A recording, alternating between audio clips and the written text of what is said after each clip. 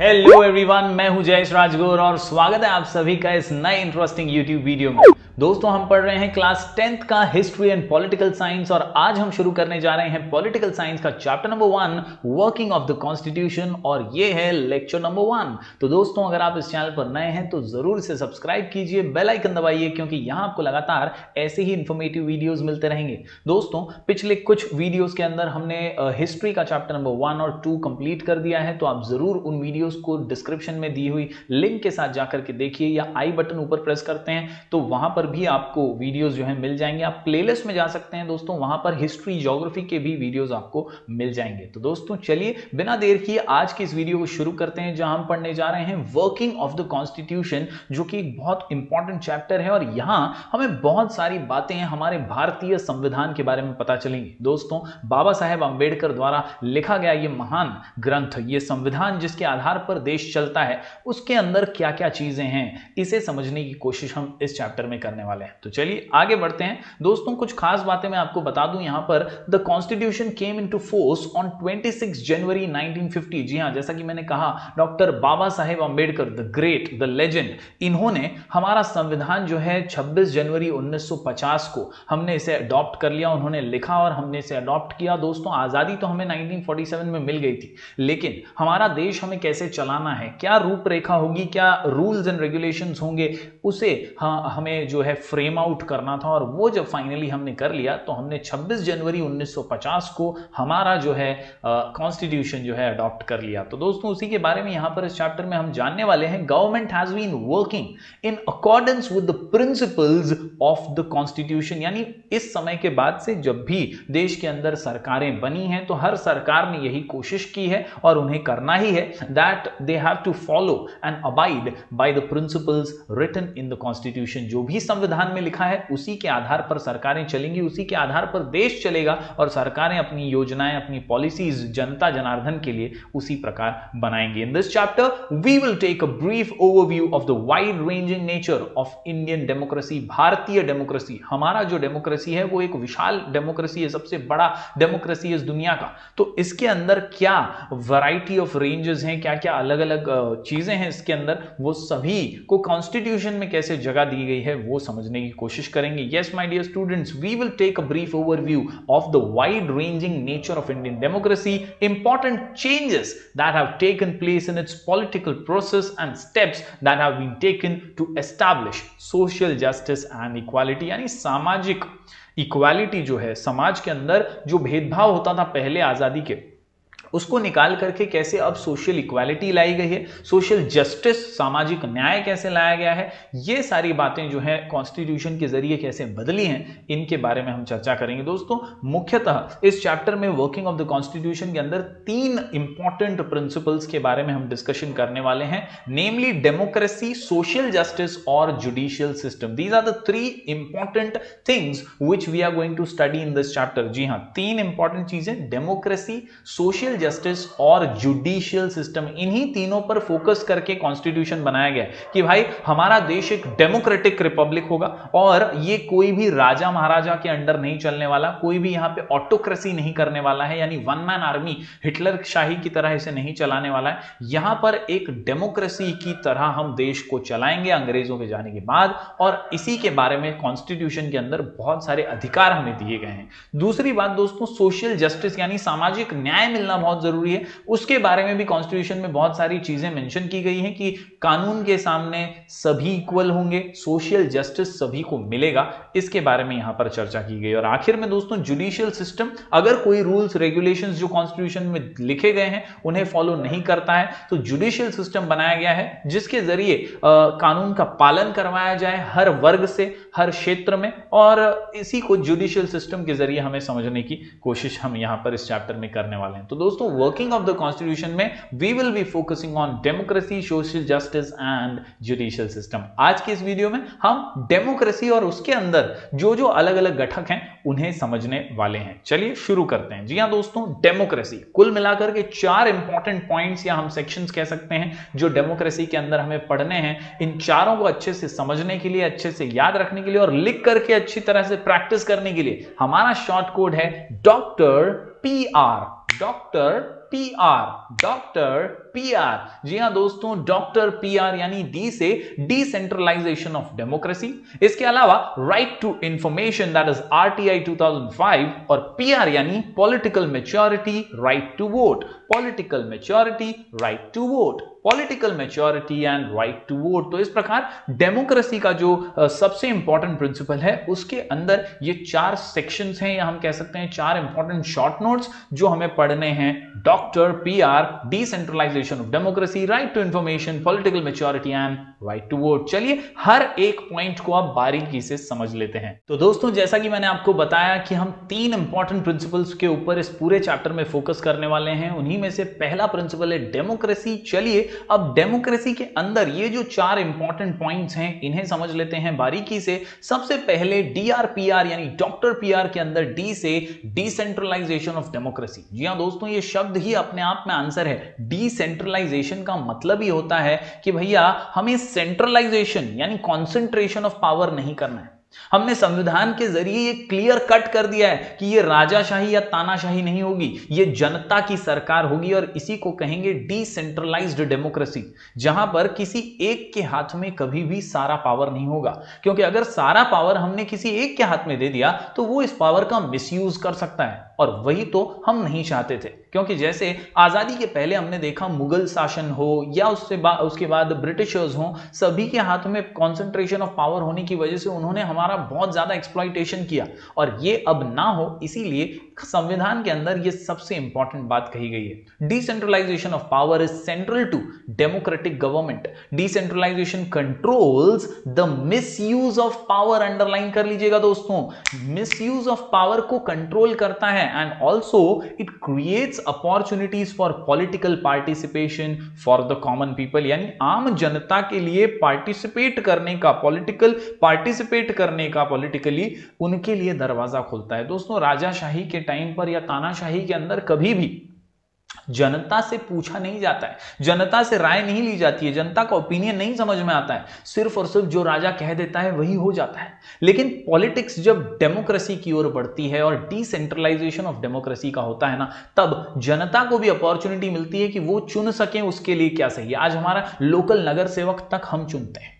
आज प्रधानमंत्री तक हम चुनते हैं, हम वोट देते हैं और हमारे वोट के अंदर वो ताकत है जिसके ज़रिए हम जो है चुनने का अधिकार पाते हैं। और वही यहाँ पर डिसेंट्रलाइजेशन ऑफ़ डेमोक्रेसी के ज़रिए कहा गया है that the directive principles of state policy include the provision for democratic decentralisation one such important provision is regarding empowering the local self government making genuine democratic governance a reality यानी हमारी महानगर पालिकाएँ हों local ग्राम पंचायत हों, सभी को local self governing अधिकार दिए गए हैं अपने क्षेत्र को अच्छा खुशहाल डेवलप्ड बनाने के लिए और उन्हें काफ़ी अच्छे से चीज़ों को इंप्लीमेंट करने के लिए भी अधिकार दिए गए हैं। After independence several attempts were made towards democratic decentralisation यानी निरंतर, लगातार आज़ादी के बाद से ही ये कोशिशें चलती रही कि डेमोक्रेसी को डिसेंट्रलाइज रखें और ज़्यादा से ज़्यादा जो है लोकल सेल्फ गवर्नमेंट को हम बढ़ावा दें। Yes one such important attempt is the 73rd and 74th amendment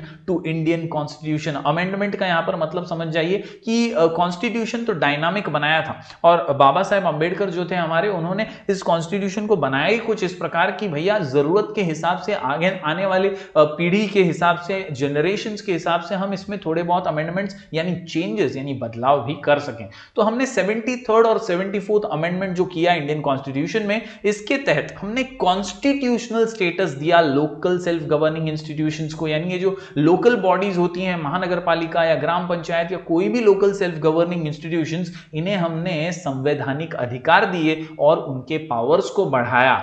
आज हम देखते हैं कि ये लोकल महानगर पालिकाएँ ग्राम पंचायत जो होते हैं, ये अपने लेवल पर भी कई निर्णय लेते हैं, लोगों के हित में, लोगों की भलाई के लिए। तो ये तभी वो कर पाते हैं जब उन्हें वो अधिकार संविधान से मिला हुआ है और इसी को कहते हैं डिसेंट्रलाइजेशन ऑफ़ डेमोक्रेसी दोस्तों लंबा चौड़ा पैराग्राफ ज़रूर है लेकिन पॉइंट्स टू रिमेंबर में याद रखिए अगर ये दो पॉइंट्स अच्छे से आप याद रख लें तो ओन वर्ड्स में आसानी से इस आंसर को आप प्रेजेंट कर पाएँगे। पॉइंट्स टू रिमेंबर में सबसे पहली बात डिसेंट्रलाइजेशन क्या करता है? तो it controls the misuse of power and creates opportunity of political participation yes my dear students क्या करता है? कंट्रोल करता है. क्या? मिसयूज को. Controls misuse controls misuse controls misuse of power and क्या करता है? क्रिएट करता है बॉस क्या क्रिएट करता है? अपॉर्चुनिटी क्रिएट करता है पॉलिटिकल पार्टिसिपेशन की कॉमन पीपल के लिए. इसके अलावा दूसरा इंपॉर्टेंट पार्ट जो है आप याद रखेंगे यहाँ पर कि सेवेंटी थर्ड और सेवेंटी फोर्थ अमेंडमेंट में क्या हुआ था? तो यहाँ पर हमने कॉन्स्टिट्यूशनल स्टेटस दे दिया लोकल सेल्फ गवर्निंग इंस्टीट्यूशंस को और उनके पावर्स को इंक्रीज कर दिया। तो उम्मीद करता हूँ दोस्तों डीआरपीआर यानी डॉक्टर पीआर के अंदर पहला डी आप समझ गए होंगे डिसेंट्रलाइजेशन ऑफ़ डेमोक्रेसी चलिए बढ़ते हैं आगे, अगले पॉइंट की ओर। जहाँ यह हमारा अगला पॉइंट है राइट टू इंफॉर्मेशन हमें हर चीज़ जानने का अधिकार है, क्योंकि हम हैं इस देश के नागरिक। हम ही तो चुनने वाले हैं नेताओं को, हम ही चुनने वाले हैं प्राइम मिनिस्टर को, हम ही चुनने वाले हैं हमारे लोकल नगर सेवक को तो वो क्या करता है? वो कैसे पैसे यूज़ करता है हमारे दिए हुए, हमारे टैक्सेस से भरे हुए? उनका हर एक कच्चा चिट्ठा हमारे पास होना चाहिए। और वही है right to information right to information के ज़रिए कम्युनिकेशन होता है ट्रांसपेरेंसी डेवलप होती है। सरकार क्या कर रही है, वो जनता को हमेशा पता होता है। हम पूछ सकते हैं कि भैया कैसे किया, क्यों किया, कितने पैसे लगे।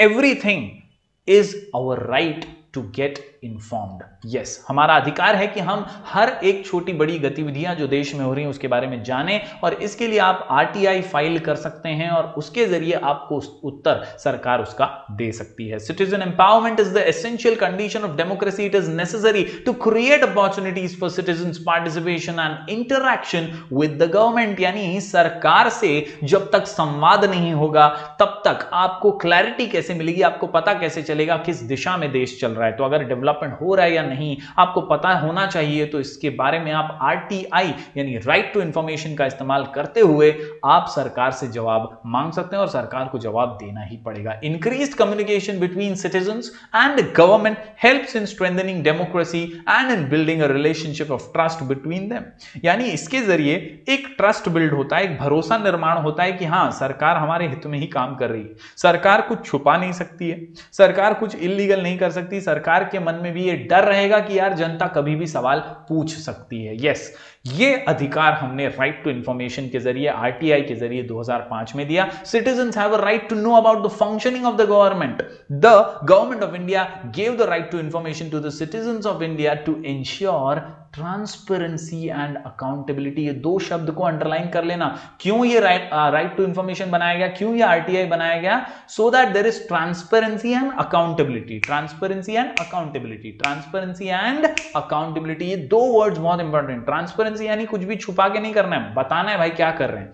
और अकाउंटेबिलिटी मतलब तुमको जवाब देना पड़ेगा। अपन जनता, अपन पूछेगा। तुमको बताना ही पड़ेगा, भाई, तुम हमारे पैसे से काम कर रहे हैं। तो ये बहुत ही सिंपल है। Transparency and accountability which are the hallmarks of good governance यही तो अच्छी गवर्नमेंट की निशानी है। Right to information has made the government more transparent and has reduce the element of secrecy in the working of government यानी इस right to information के ज़रिए जो छुप छुपा कर घोटाले हो जाते थे ना, उसका एलिमेंट थोड़ा सा कम हो गया है। यस yes, यहाँ पर दोस्तों पॉइंट्स टू रिमेंबर में दो इंपॉर्टेंट बातें आपको हमेशा याद रखनी है। राइट टू इंफॉर्मेशन से रिलेटेड कभी भी एग्ज़ाम में क्वेश्चन आए तो ये दो पॉइंट्स उसमें झलकने ही चाहिए।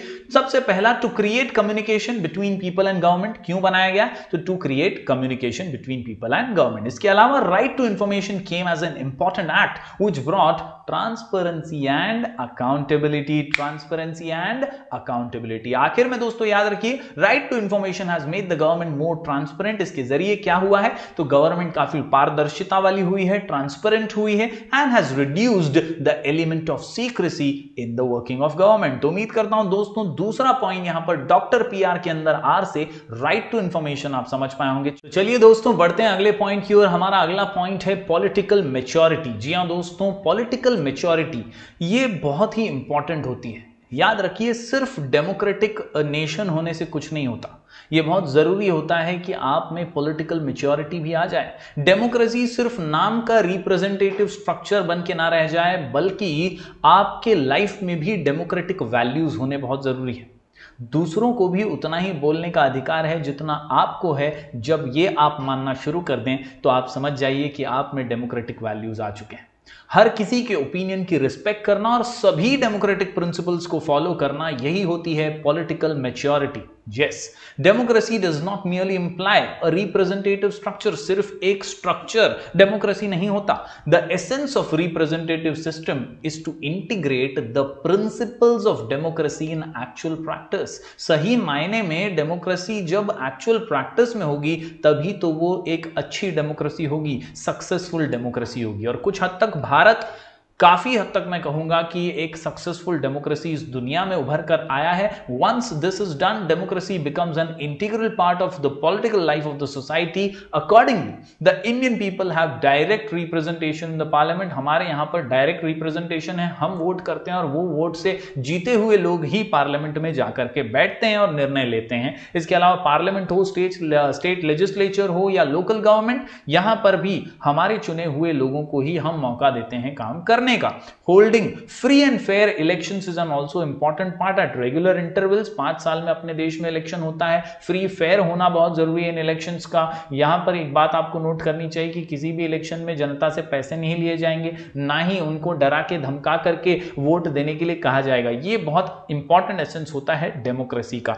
India is a successful democracy और यही बातें इंडिकेटर है कि इंडिया एक सक्सेसफुल डेमोक्रेसी है। तो क्योंकि यहाँ पर फ्री और फेयर इलेक्शंस जो है रेगुलर इंटरवल्स पर होते रहते हैं। The increasing participation of the people in the political process and political competition shows that Indian democracy has become successful to a great extent यानी अब हम देखते हैं हर साल जब भी इलेक्शन होते हैं चा, चार पाँच सालों में जब भी इलेक्शन होते हैं अलग अलग जगहों पर अलग अलग राज्यों के हो या देश भर के हो तब हम देखते हैं कि पॉलिटिकल पार्टिसिपेशन अब लोगों का बढ़ता जा रहा है। युवा वर्ग भी अब वोट देने के लिए निकल कर जाता है वोटिंग करता है और इससे ही पता चलता है कि भारत एक सक्सेसफुल डेमोक्रेसी बन रहा है। इसके अलावा दोस्तों यहाँ पर अगर मैं कहूँ पॉइंट्स टू रिमेंबर तो once again there are two points which you need to write in the answer essence of democracy का आपको मतलब लिखना होगा it is to integrate the principle of democracy in actual practice मतलब सिर्फ़ structure ही democracy नहीं होता, उसे ज़िंदगी में उतारना एक्चुअल प्रैक्टिस में डालना ही डेमोक्रेसी होता है। इसके अलावा Indian people have direct representation India में क्या होता है? तो यहाँ पर डायरेक्ट रिप्रेजेंटेशन होता है पार्लियामेंट में स्टेट लेजिस्लेचर में या लोकल गवर्नमेंट में। इसके अलावा आखिरी में आपको तीसरा पॉइंट याद रखना है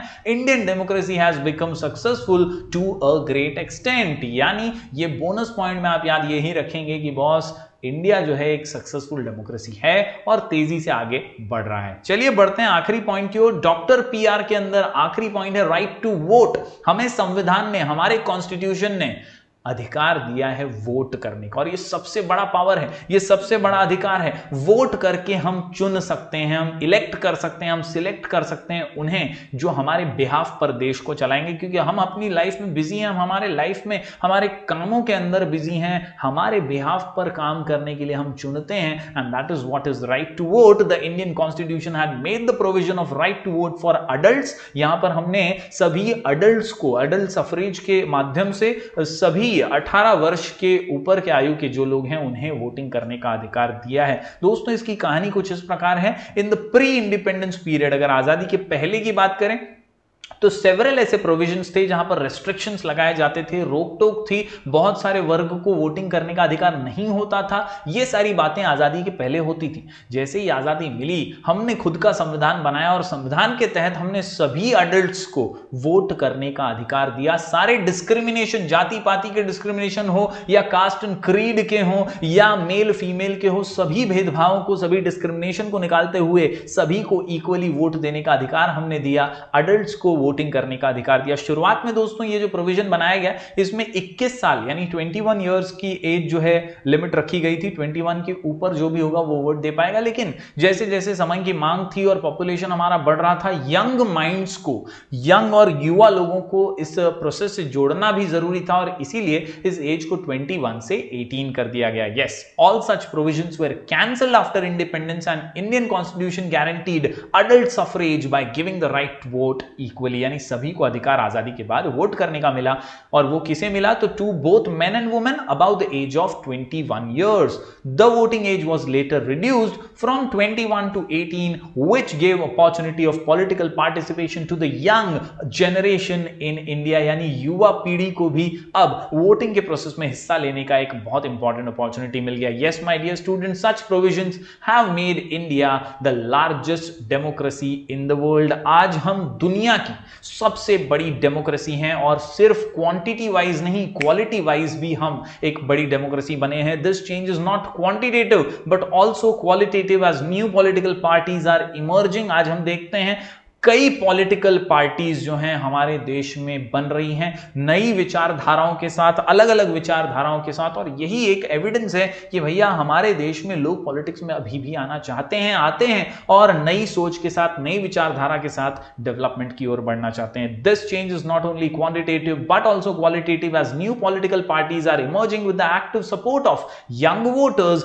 these parties represent various expectation of people and compete in the political sphere तो उम्मीद करता हूँ दोस्तों, ये आखिरी पॉइंट डॉक्टर पीआर में राइट टू वोट आप समझ पाए होंगे। पॉइंट्स टू रिमेंबर में तीन इंपॉर्टेंट पॉइंट सबसे पहले तो प्री इंडिपेंडेंस बहुत सारे रिस्ट्रिक्शन थे, याद रखिए। Pre independence period there were many restriction on voting rights दूसरा पॉइंट याद रखिए पोस्ट इंडिपेंडेंस यहाँ पर क्या था? तो post independence all such provision were cancelled और उसके बाद आपको याद रखना है, तीसरे पॉइंट पे इंडियन कॉन्स्टिट्यूशन ने क्या किया? तो उसने गारंटी दी अडल्ट सफरेज के माध्यम से राइट टू वोट का अधिकार दिया। सभी सभी को पहले 21 साल से ऊपर को यह अधिकार था, उसके बाद इसे रिड्यूस करके 18 इयर्स कर दिया गया। तो उम्मीद करता हूँ दोस्तों, चार इंपॉर्टेंट पॉइंट्स डेमोक्रेसी नाम के इस सबसे इंपॉर्टेंट प्रिंसिपल हमारे कॉन्स्टिट्यूशन में, जो लिखा गया है डॉक्टर बाबा साहेब अंबेडकर द्वारा, और इसी के चार इंपॉर्टेंट फीचर्स हमने डेमोक्रेसी के अंदर देखे। ये कुछ इस प्रकार शॉर्ट कोड है, डॉक्टर पी आर यानी D R P R D से डिसेंट्रलाइजेशन ऑफ़ डेमोक्रेसी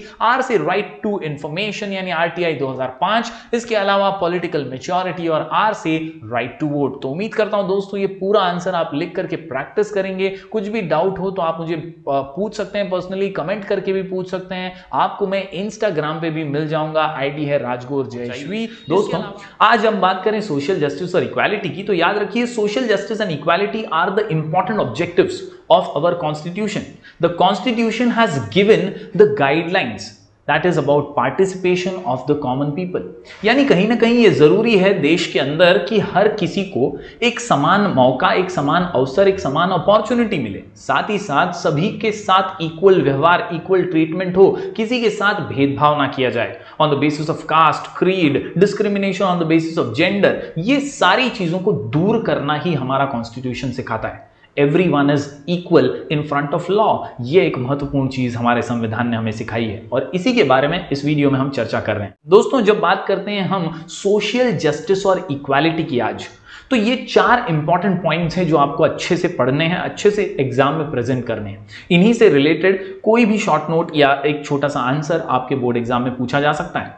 हमारा शॉर्ट कोड इन चारों पॉइंट्स को समझने के लिए और याद रखने के लिए है टीपीएल टीपीएल टीपीएल जी हाँ दोस्तों टीपीएल में टी से the schedule caste and tribes that is prevention of atrocities act P से दो पॉइंट्स जहाँ policy of reservation of seats इसके अलावा प्रोविज़न फॉर माइनॉरिटीज और आखिर में laws relating to women and provision for representation basically TPL के ज़रिए हम सामाजिक जो जस्टिस है, उसकी बात करने वाले हैं और कैसे एकता बनाए रखने की कोशिश हमारा संविधान करता है, इसके बारे में समझने वाले हैं। तो चलिए एक एक पॉइंट को बारीकी से समझ लेते हैं। आज हम पढ़ रहे हैं सोशल जस्टिस एंड इक्वालिटी और आंसर का नाम टीपीएल टीपीएल टीपीएल तो चलिए, पहला पॉइंट देखते हैं। The schedule caste and tribes prevention of atrocities act दोस्तों, हमारे देश के इतिहास को अगर खंगाल कर देखें तो कहीं ना कहीं बहुत अत्याचार, बहुत भेदभाव शेड्यूल कास्ट और ट्राइब्स के साथ हुआ है। ये जो पिछड़ी जाति के लोग हैं, इनके साथ बड़ा दुर्व्यवहार हुआ।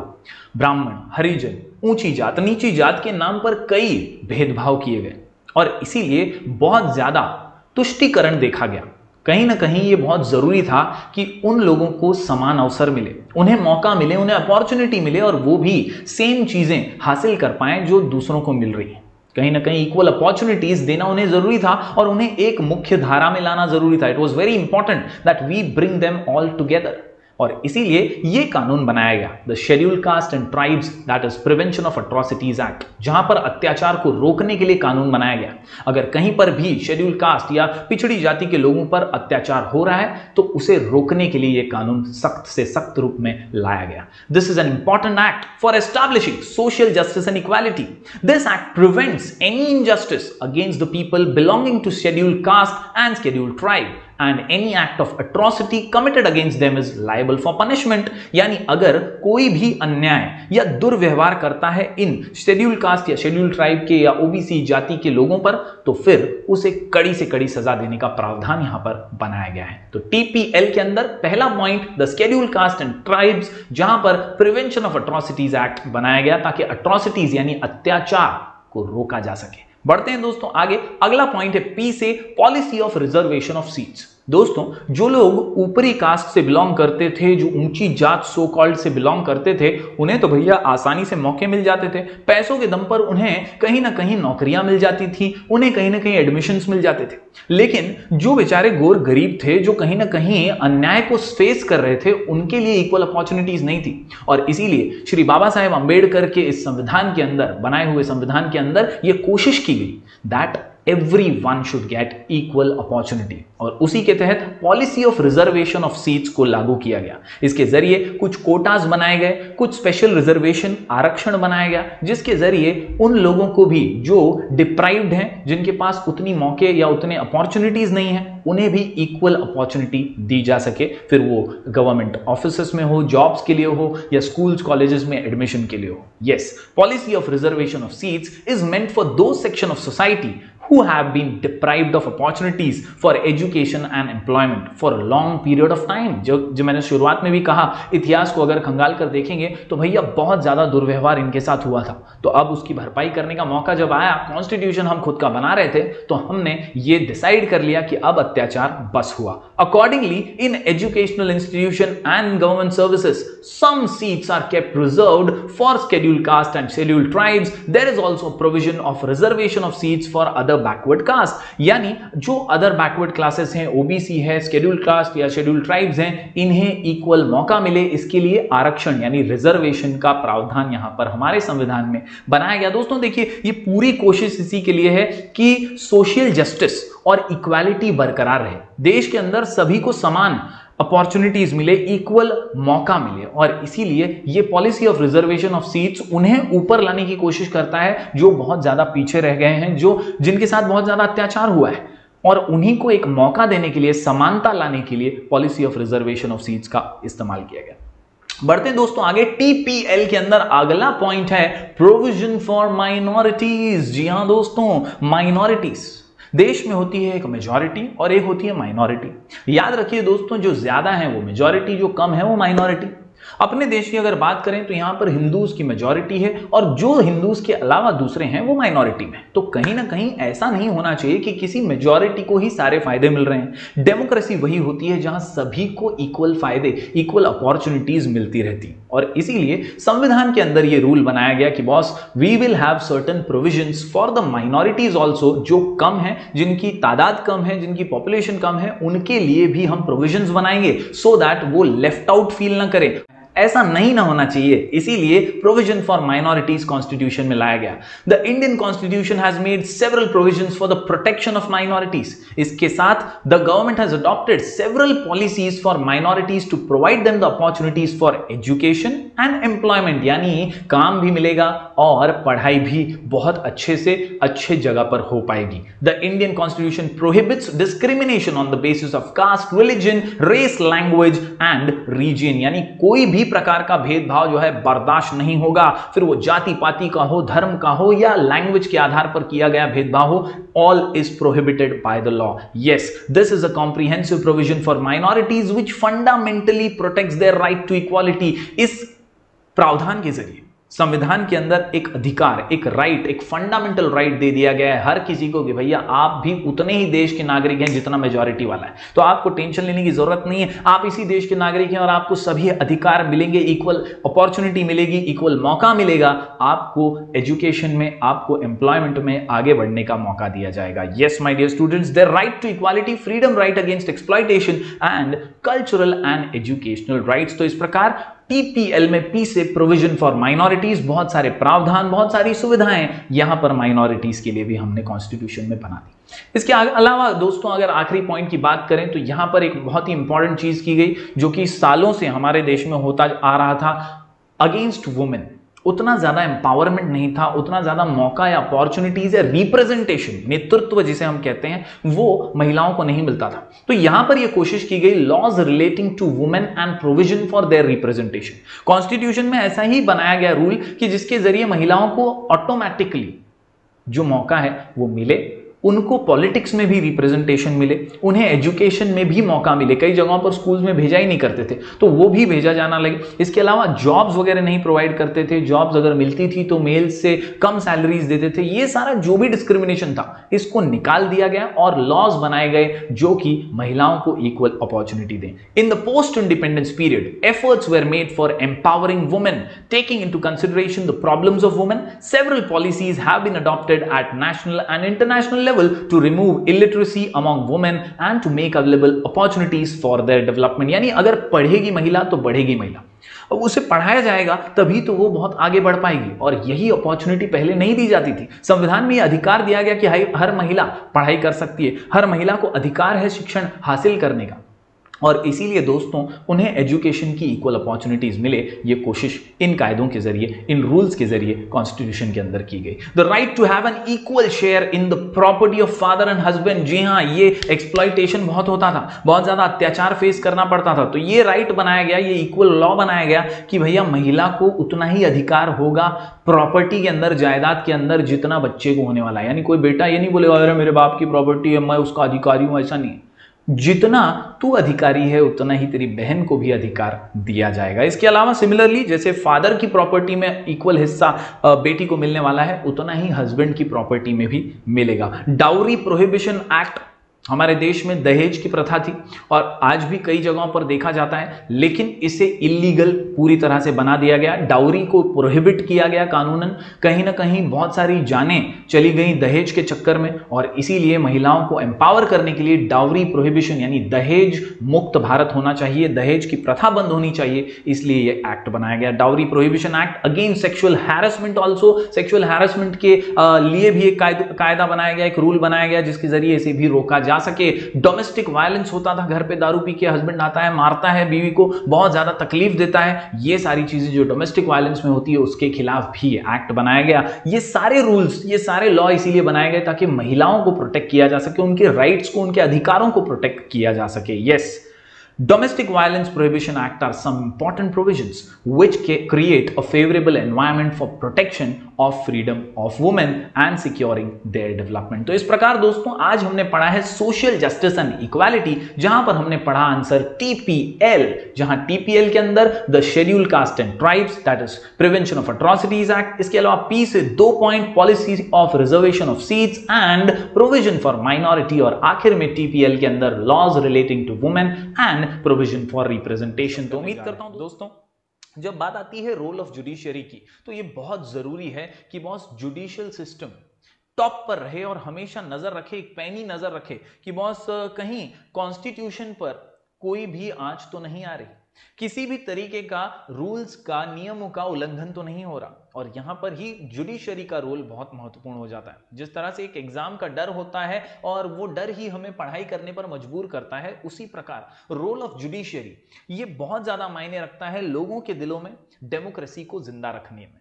The judiciary in India has played an important role in strengthening democracy and helping to make towards achieving the objectives of social justice and equality. While interpreting the provisions of the constitution, the judiciary has always taken into consideration the fundamental objectives of constitution and also the intentions of the constitution makers. यानी दोस्तों judiciary ने हमेशा ये ध्यान में रखा है कि भैया बनाने वालों ने संविधान क्रिएट करने वालों ने लिखने वालों ने सोच समझ समझकर हर चीज़ को लिखा है और उन्हीं का इंटेंशन ध्यान में रखते हुए इसके ऊपर पूरी नज़र रखी जाती है कि कोई इसका उल्लंघन ना करे, कोई रूल्स रेगुलेशंस का जो है बाइफर्केशन करते हुए गलत तरीके से इसे प्रेजेंट ना करे। दोस्तों, यहाँ पर मैं कुछ खास बात आपको बताना चाहूँगा। सबसे इंपॉर्टेंट पार्ट होता है the basic framework of the constitution जी हाँ बेसिक फ्रेमवर्क जिस तरह से घर के अंदर बहुत सारी दीवारें होती हैं, आप कलर चेंज कर सकते हैं, आप अपने हिसाब से फर्नीचर वगैरह लगा सकते हैं, आप बदलाव तो कर ही सकते हैं। लेकिन दोस्तों, आपको इजाज़त नहीं होती है पिलर्स को छेड़ने की। जी हाँ अगर आप पिलर्स को छेड़ेंगे, उसे तोड़ेंगे, उसको हानि पहुँचाने की कोशिश करेंगे तो पूरा घर बिखर जाएगा। बस उसी प्रकार से यहाँ पर हमारे देश में जो संविधान है, उसमें आप चेंजेस ज़रूर कर सकते हैं। उसको लाइव और डायनामिक सा बनाया गया है। बनाने वालों ने कॉन्स्टिट्यूशन मेकर्स ने डॉक्टर बाबा साहेब अंबेडकर ने इसे लाइव और डायनामिक बनाया ताकि कंडीशंस के हिसाब से आप बदलाव कर सकें, आप चेंजेस कर सकें। लेकिन कभी भी, कोई भी इसके बेसिक फ्रेमवर्क के साथ खिलवाड़ नहीं कर सकता। और इसी का ध्यान रखती है judiciary yes the constitution is dynamic it is a living document the constitution has to change according to changing conditions and the parliament has to power has a power to make those changes यानी सारे अधिकार बदलाव करने के किसको दिए हैं? Parliament को दिए हैं। क्योंकि पार्लियामेंट में कौन बैठता है? तो हमारे चुने हुए रिप्रेजेंटेटिव्स बैठते हैं। Yes my dear students the judiciary has accepted this power of the parliament to make changes in the constitution. But but but, जी हाँ दोस्तों, सरकारों ने पार्लियामेंट के अंदर जो भी कानून चेंज करने हैं या नए कानून लाने हैं, उसके लिए प्रावधान है। सुप्रीम कोर्ट ने हमारी जुडिशियरी ने उसको माना भी है। लेकिन एक इंपॉर्टेंट बात जो हमेशा पार्लियामेंट को ध्यान रखनी है, वो ये the judiciary has taken stand that the parliament while amending the constitution can not alter the basic structure of the यानी पार्लियामेंट बदलाव करना चाहे तो कर सकता है, मगर बेसिक फ्रेमवर्क को कभी भी अल्टर नहीं करना चाहिए। जिस तरह मैंने कहा, आपको पिलर्स को आप नहीं तोड़ सकते पिलर्स में आप बदलाव नहीं कर सकते, उसे चेंज नहीं कर सकते, वरना पूरा घर नष्ट हो जाएगा। उसी प्रकार, यहाँ पर भी पार्लियामेंट को अधिकार ज़रूर है चेंजेस करने का। मगर वो बेसिक फ्रेमवर्क को कभी चेंज नहीं करेंगे। तो दोस्तों, आपके दिमाग में सवाल आएगा कि यार ये बेसिक फ्रेमवर्क होता क्या है? तो कुछ यहाँ पर अंडरस्टैंडिंग के लिए आपके बनाया गया है हमारे टेक्स्ट बुक के अंदर ही ये छोटा सा डब्बा और वहाँ पर कुछ इंपॉर्टेंट जानकारी दी गई है। दोस्तों republican and democratic form of government है और उसे कोई भी तोड़ेगा नहीं। जी हाँ हमारा देश जो है वो एक रिपब्लिकन और डेमोक्रेटिक फॉर्म ऑफ़ गवर्नमेंट चलाता है। यानी हम अपने संविधान को हमेशा फॉलो करेंगे और हमारी सरकार जो होगी वो जनता की चुनी हुई सरकार होगी। इसे कोई भी छेड़ेगा नहीं, इसे कोई चेंज नहीं कर सकता। इसके अलावा federal structure of the constitution यानी दोस्तों, यहाँ पर बहुत ही सिंपल सी बात कही गई है कि भाई हमारे यहाँ सरकारें जो होगी वो फेडरल स्ट्रक्चर में होंगी बाइफर्केटेड होंगी, राज्य की अलग सरकार है। आप देख सकते हैं केंद्र में चुनाव होता है, केंद्र का लोकसभा का, वहाँ पर अलग चुनाव होता है, वहाँ पर अलग सरकारें होती हैं। कई बार विधानसभा के चुनाव होते हैं महानगर पालिकाओं के चुनाव होते हैं तो इस प्रकार एक फेडरल स्ट्रक्चर है और हर किसी को पावर दिया हुआ है डिसेंट्रलाइजेशन यहाँ पर किया गया है। इसके अलावा it should always promote unity and integrity of the nation कोई भी अपनी देश की एकता और अखंडता के साथ खिलवाड़ नहीं करना चाहिए और साथ ही साथ सोवर्निटी ऑफ़ द नेशन यानी हम एक आज़ाद देश हैं और इसे कोई ठुकरा नहीं सकता। आखिर में secularism and supremacy of the constitution हम सेक्युलर हैं धर्म निरपेक्ष हैं। स्पिरिचुअल मैटर्स से हमारा कोई लेना देना नहीं है। हम किसी धर्म विशेष को महत्व नहीं देते। हम सबको समान और इक्वल ट्रीटमेंट देते हैं। बस यही है basic framework of the constitution और किसी को भी इस बेसिक फ्रेमवर्क के साथ खिलवाड़ करने का अधिकार नहीं है। दोस्तों, हमारा जुडिशरी जो है वो बहुत इंपॉर्टेंट रोल निभाता है। कई बार उतार चढ़ाव आते हैं और इसीलिए तारीख पे तारीख तारीख पे तारीख तारीख पे तारीख मिलती रहती है, मगर इंसाफ नहीं मिलता। दोस्तों, आप सभी ने ये नोट किया होगा कि जुडिशरी हर कदम पर ये हमेशा नोटिफाई करवाते रहता है कि भैया कॉन्स्टिट्यूशन को फॉलो कीजिए और कॉन्स्टिट्यूशन के साथ ही रहिए। दोस्तों आखिरी पॉइंट जो यहाँ पर मेंशन किया गया है वो ये कि जुडिशियल डिसीजंस भी बहुत मायने रखते हैं और इसीलिए सिग्निफिकेंट जुडिशियल डिसीजंस जो हमारे देश में लिए गए, वो भी बहुत ज़्यादा ज़रूरी है। उसी के बारे में ये पॉइंट हमें बताता है। The protection provided to the citizens by fundamental rights in the constitution has been made more meaningful through various decision of judiciary some of the important subjects on which the court has given judgments includes rights of children जी हाँ child labour की समस्या देश में बहुत ज़बरदस्त थी। उसको रोकने के लिए राइट टू चिल्ड्रन का प्रावधान राइट टू चिल्ड्रन का डिसीज़न जो है, वो भी लिया गया। इसके अलावा protection of human rights protection of the honour and dignity of women महिलाओं की सुरक्षा के रिलेटेड डिसीज़न भी लिए गए। इंडिविजुअल फ्रीडम अभिव्यक्ति की आज़ादी जिसे हम कहते हैं कि भैया, हर किसी को बोलने का अधिकार है फ्रीडम ऑफ़ स्पीच है, वो अधिकार। इसके अलावा एंड ट्राइबल एम्पावरमेंट जो ट्राइब्स हैं शेड्यूल ट्राइब्स हैं शेड्यूल कास्ट हैं, जो पिछड़ी जाति के हैं, पिछड़े वर्ग के हैं, उन्हें भी समानता मिले, समान अपॉर्चुनिटीज़ मिले, इसकी कोशिश भी की जाती है। जुडिशियल डिसीज़न अक्सर ऐसे लिए जाते हैं जो उन्हें भी एम्पावर कर सकें। These efforts have made the political process in India more mature तो उम्मीद करता हूँ, दोस्तों रोल ऑफ़ जुडिशियरी आप सीख पाए होंगे, समझ पाए होंगे, ज़रूर इस चैप्टर के नोट्स बनाइएगा। इस चैप्टर के अंदर हम ओवरव्यू अगर देखें तो तीन महत्वपूर्ण मुद्दे हम सीख गए हैं। एक है डेमोक्रेसी दूसरा है सोशल जस्टिस एंड इक्वालिटी और तीसरा जो आज हमने देखा role of judiciary in this chapter we took a review of the constitution and the working of the government on the basis of the constitution in the context of Indian democracy तो दोस्तों, अगले chapter में हम पढ़ेंगे election process के बारे में और तब तक के लिए आप बने रहिएगा हमारे चैनल पर। कुछ भी डाउट्स हो तो मैं आपको इंस्टाग्राम पे मिल जाऊँगा। मेरा आईडी है राजगोर जयश्वी। दोस्तों, आप हमारा टेलीग्राम चैनल भी ज्वाइन कर सकते हैं। वहाँ हम नोट्स डालते रहते हैं। स्काई एजुकेशन ऑफिशियल ये टेलीग्राम चैनल का नाम है। आप प्ले स्टोर से हमारा ऐप डाउनलोड कर सकते हैं, नाम है स्काई एजुकेशन वहाँ भी हम रेगुलर अपडेट्स देते रहते हैं। तो दोस्तों, इसी तरह अपना प्यार बरकरार रखिएगा। हम मिलेंगे फिर एक बार कुछ और नए वीडियोस के साथ। तब तक के लिए do like share and subscribe